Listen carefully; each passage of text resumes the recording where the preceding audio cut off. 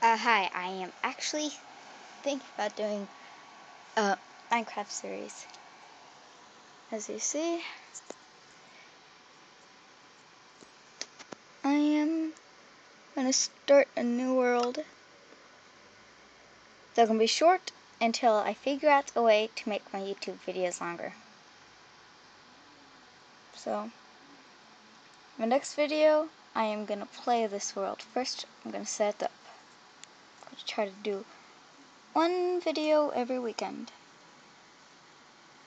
And I'm gonna do a video before Christmas of me finishing my Christmas tree.